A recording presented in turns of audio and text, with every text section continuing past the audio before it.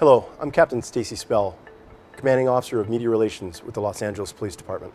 And I am Oswaldo Borraez with the Radio Television News Association.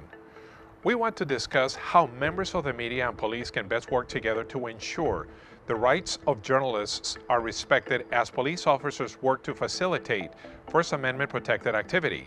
The internet and social media platforms have allowed many independent and non-affiliated community members to cover and report on newsworthy events.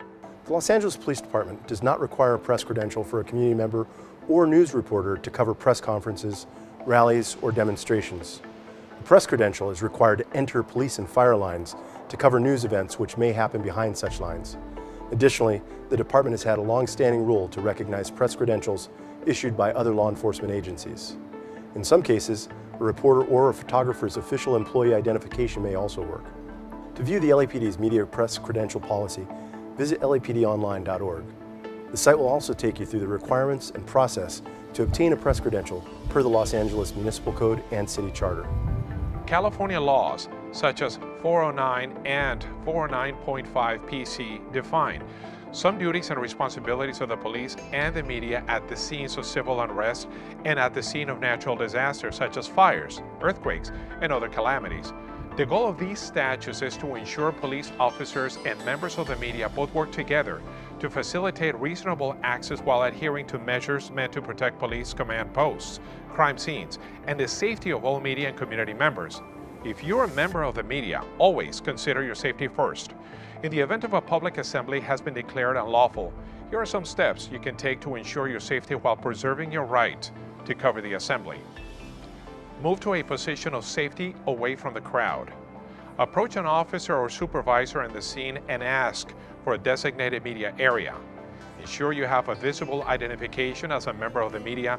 This could be a press credential, a mic flag, or clothing with a company logo have the company number of a watch commander or media relations representative. It is important to remember members of the media are subject to arrest if they remain at the scene of an assembly that has been declared unlawful. Police officers engaged in crowd management and crowd control maneuvers are trained to facilitate the rights of the press to cover these events. Recent events in Los Angeles and around the country have highlighted how some persons blur the lines between functioning as press versus functioning as an activist. To help keep yourself from being considered part of the protest, the LAPD recommends the following. Do not engage in conduct that shows you as an active participant in the event. Do not participate in any unlawful conduct or acts of violence. Do not interfere with the actions of the police officers at the scene or officers on a line. Move to the designated media area if an unlawful assembly has been declared. There are several organizations such as the Radio and Television News Association of Southern California, RTNA, which help those in the business as well as independent journalists. We understand there's a growing number of people working part-time with media organizations and some individuals who use the various social media platforms to regularly report on news events.